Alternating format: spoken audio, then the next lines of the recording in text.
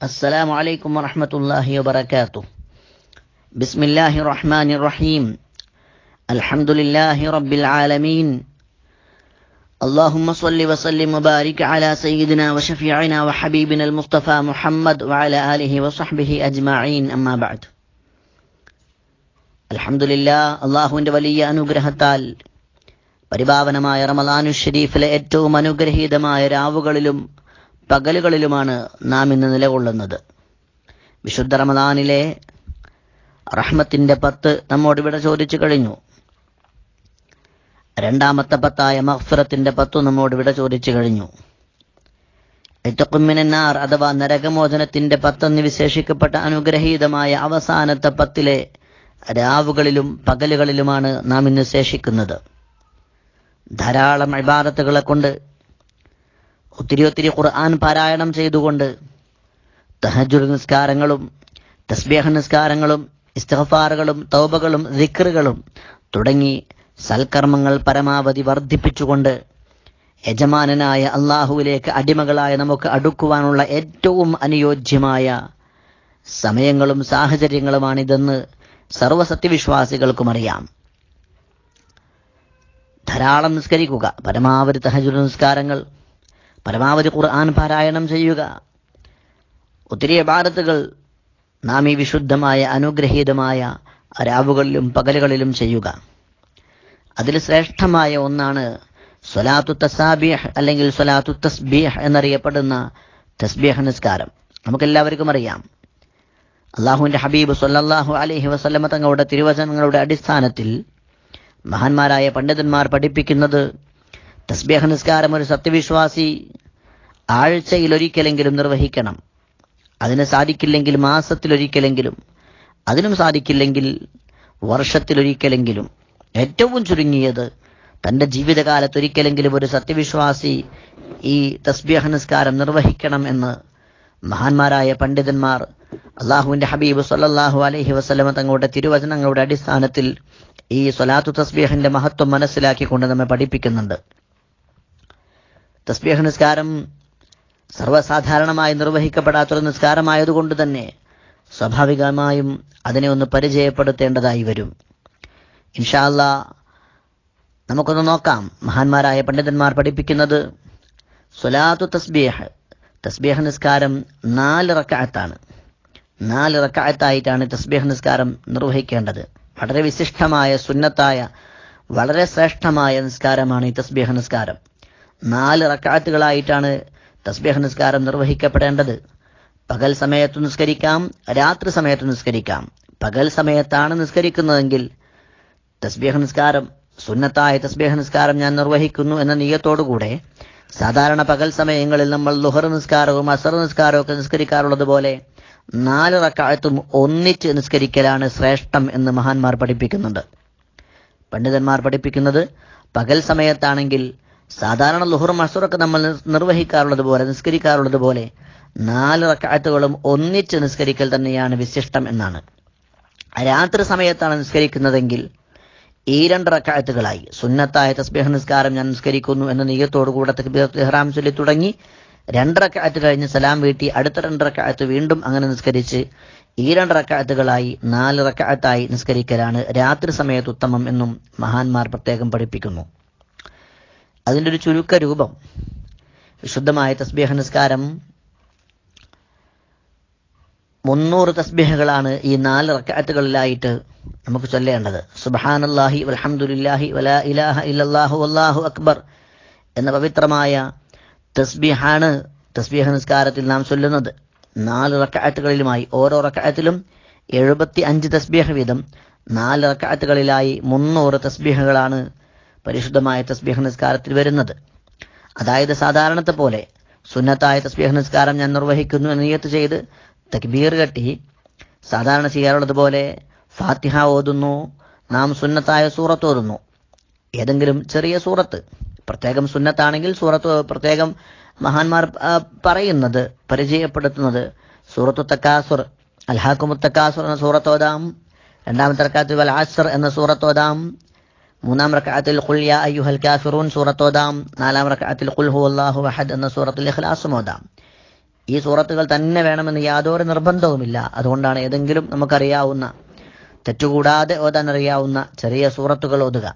ഫാത്തിഹ ഓതുന്നു സൂറത്ത് ഓതുന്നു. ഫാത്തിഹയും സൂറത്തും ഓതിക്കഴിഞ്ഞ ശേഷം ഖിയാമിൽ പതിനഞ്ച് പ്രാവശ്യം ആ നൃത്തത്തിൽ റുക്കോയിലേക്ക് പോകുന്നതിന് മുന്നേ പതിനഞ്ച് പ്രാവശ്യം സുബഹാനല്ലാഹി വൽഹംദുലില്ലാഹി വലാ ഇലാഹ ഇല്ലാഹു അല്ലാഹു അക്ബർ.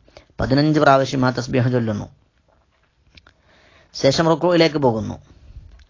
റുക്കോയിൽ പോയി. റുക്കോയിന്റെ അവിടെ നിന്ന് അങ്ങോട്ട് ഇനിയുള്ള ഓരോ അമലുകളിലും പത്ത് പ്രാവശ്യം വീതം സുബഹാനല്ലാഹി അലഹമുല്ലാഹി വലാ ഇലാഹ ഇല്ലാഹു അള്ളാഹു അക്ബർ എന്ന ഈ തസ്ബീഹ് ചൊല്ലുക. എഴുത്തിദാൽ എഴുത്തിദാലിലും പത്ത്. എഴുത്തിദാലിൽ നിന്ന് സുജൂദിലേക്ക് പോകുന്നു. ഒന്നാം സുജൂദിൽ പത്ത്. ഒന്നാമത്തെ സുജൂദ് കഴിഞ്ഞ് ഇടയിലിരുത്തമുണ്ട്. അജുലൂസ് ബൈന സജദത്തെ രണ്ട് സുജൂതുകൾക്കിടയിലുള്ള ഇരുത്തത്തിൽ പത്ത് രണ്ടാമത്തെ സുജൂതിൽ വീണ്ടും പത്ത്. ഇനി നാം ഒന്ന് ശ്രദ്ധിക്കണം സാധാരണ നിസ്കാരങ്ങളിൽ ഇല്ലാത്ത വിധം. ഒന്നാമത്തെ റക്കായത്തിൽ നിന്ന് രണ്ടാമത്തെ റക്കായത്തിലേക്ക് എഴുന്നേറ്റ് വരുമ്പോൾ അവിടെ ചെറിയൊരു ഇരുത്തം ആവാം.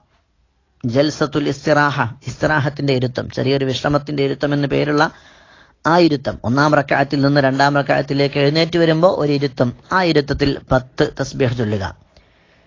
എന്നിട്ട് ആ ഇരുത്തത്തിൽ നിന്നാണ് രണ്ടാമത്തെ റക്കായത്തിലേക്ക് എഴുന്നേറ്റ് നിൽക്കുന്നത്.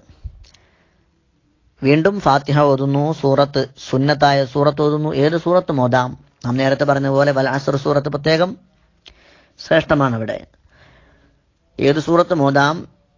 ശേഷം വീണ്ടും നമ്മൾ പതിനഞ്ച് തസ്ബീഹ ചൊല്ലുന്നു. തുടർന്ന് അങ്ങോട്ട് റുക്കു മുതൽ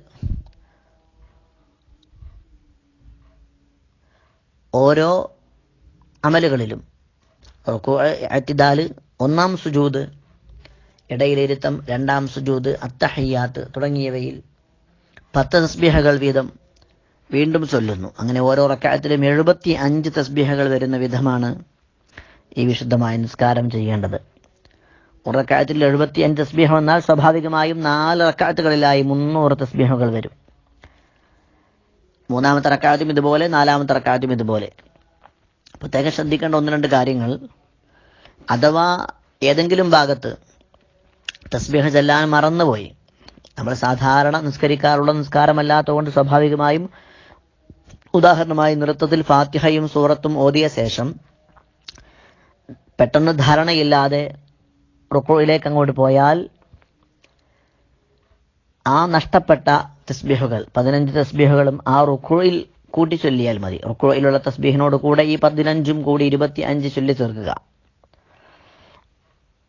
എന്നാൽ അവിടെ പ്രത്യേകം ശ്രദ്ധിക്കേണ്ട ഒരു കാര്യം റുക്കോയിൽ തസ്ബീഹ് നമുക്ക് നഷ്ടപ്പെട്ടു പോയാൽ മറന്നുപോയാൽ ആ തസ്ബീഹ് എഴുത്തിദാലിൽ ചൊല്ലാൻ പാടില്ല. എഴുത്തിദാലിൽ ഏറ്റുതാലിൽ മാത്രമുള്ള ചൊല്ലേണ്ടതായ തസ്ബീഹകൾ ചൊല്ലി ഈ നഷ്ടപ്പെട്ടു പോയ പത്ത് അടുത്ത് വരുന്ന സുജൂതിൽ ചൊല്ലുന്ന തസ്ബീഹിനോട് കൂടെ കൂട്ടിച്ചൊല്ലണം എന്നാണ് മഹാന്മാർ പഠിപ്പിക്കുന്നത്. അതായത് ഖിയാമ നൃത്തം കുറച്ചല്പം സമയമെടുക്കുന്ന തൊവീലായ ഫറൽ എന്ന് പറയും. നിസ്കാരത്തിന് തൊവീലായ ഫറലാണ് റുക്കോഴും ഏകദേശം അങ്ങനെ തന്നെ. ഏറ്റിതാൽ റുക്കോഴിന്റെയും അതുപോലെ തൊവിയിലായ വലിയൊരു ഫറലായ സുജൂദിന്റെയും ഇടയിലുള്ള വേർപിരിക്കുന്ന അത്ര തന്നെ ദൈർഘ്യം കൊടുക്കാൻ പറ്റാത്ത ഒരു ഫറലാണ്. അതുകൊണ്ടാണ്